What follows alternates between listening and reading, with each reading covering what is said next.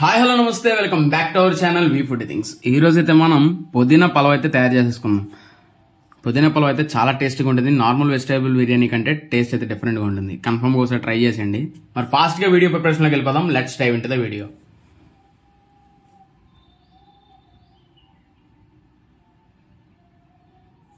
పుదీనా పలావ్లోకి కావాల్సిన ఇంగ్రీడియంట్స్ అయితే చూసేద్దాం. ముందుగా పుదీనా పచ్చిమిరపకాయలు బిర్యానీ దినుసులు ఉల్లిపాయలు అల్లం వెల్లుల్లి పేస్ట్ అలాగే కారం గరం మసాలా తీసుకుందాం. అండ్ నెక్స్ట్ మనమైతే కనుక తయారీ ప్రాసెస్లోకి వెళ్ళిపోతే ముందుగా మనం లైట్గా ఆయిల్ యాడ్ చేసుకుని అందులోకి కొంచెం నెయ్యి కూడా యాడ్ చేసేసుకుని మొత్తం కాగనివ్వాలి.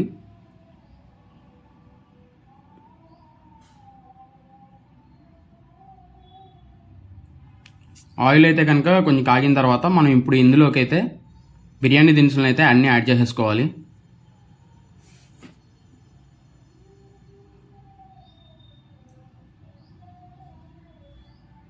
ఈ బిర్యానీ దినుసులన్నింటిని మనం ఈ ఆయిల్లో లైట్గా ఫ్రై చేసుకోవాలి. ఫ్లేవర్ పట్టేలాగా.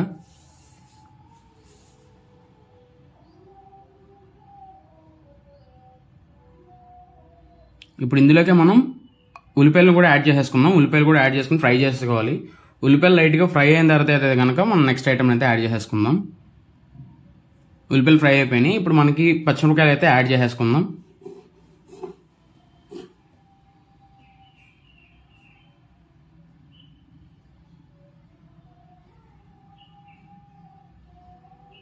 ఇవి కూడా ఫ్రై అయిపోయిన తర్వాత మనం ఇందులోకి అల్లం వెల్లుల్లి పేస్ట్ అయితే కనుక యాడ్ చేసుకోవాలి. అల్లం వెల్లుల్లి పేస్ట్ యాడ్ చేసుకుని పచ్చివాసన పోయేంత వరకు అయితే మనం దీన్ని అయితే ఫ్రై చేసుకోవాలి మొత్తం అన్ని కలుపుకొని.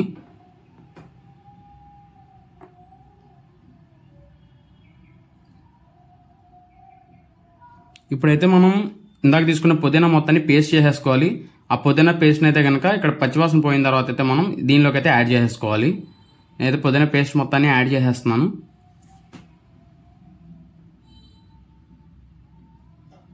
మొత్తం అన్నిటికి పట్టేలాగా బాగా తిప్పేసుకోండి. ఇది కూడా లైట్గా ఫ్రై అవనిస్తే మనకి బెస్ట్ అనమాట కొంచెం ముక్కలన్నిటికీ అంతటికీ ఫ్లేవర్ అయితే పడుతుంది. ఇప్పుడు ఇందులోకి మనం గరం మసాలా కూడా యాడ్ చేసేసుకుందాం. గరం మసాలా యాడ్ చేసి లైట్గా మొత్తం అందరినీ మిక్స్ చేసేసుకోవాలి.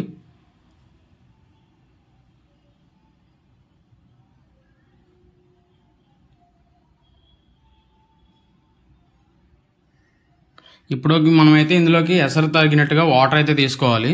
మేమైతే మూడు డబ్బాలు రైస్ తీసుకున్నాం. మూడు డబ్బాల రైస్కి నేను ఫైవ్ అండ్ హాఫ్ గ్లాసెస్ అయితే వాటర్ అయితే యాడ్ చేశాను. ఒక అర అర గ్లాస్ తక్కువగా యాడ్ చేశా.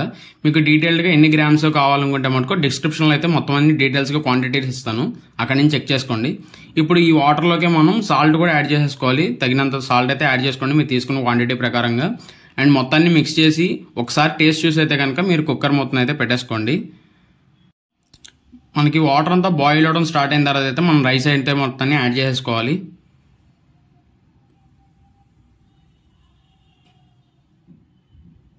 రైస్ మొత్తం యాడ్ చేసేసుకొని మొత్తానికి పట్టేలాగా మనం అయితే ఒకసారి మిక్స్ చేసేసుకుని కుక్కర్ ముక్కతో అయితే పెట్టేసుకుందాం. ఇది నియర్లీ ఒక ట్వంటీ మినిట్స్ పాటు అయితే కనుక మొత్తం అంతా బాయిల్ అవుతుంది.